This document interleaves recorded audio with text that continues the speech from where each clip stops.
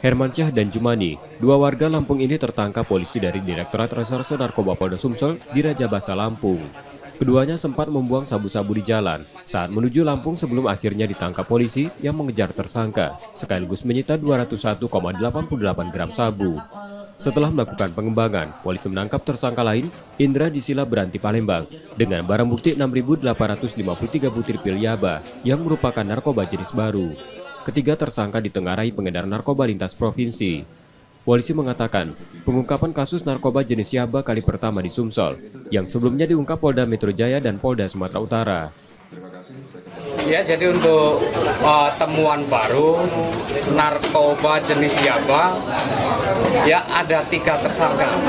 Ya, untuk uh, ada di beberapa TKP. Ini hasil pengembangan yang ada temuan pertama, yaitu sabu.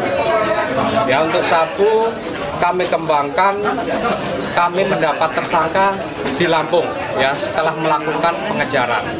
Kalau untuk sabu sudah beberapa kali, tapi untuk ya ya apa ini baru sekali ya. Berapa, berapa Ya. Sudah sempat diedarkan Pak Dir, ya baik. Untuk ya ya apa baru rencana mau diedarkan, tapi belum sempat. Ya alhamdulillah kita langsung aman. Ketiga tersangka kini menjalani pemeriksaan dan ditahan di tahanan Polda Sumsel serta terancam hukuman penjara seumur hidup.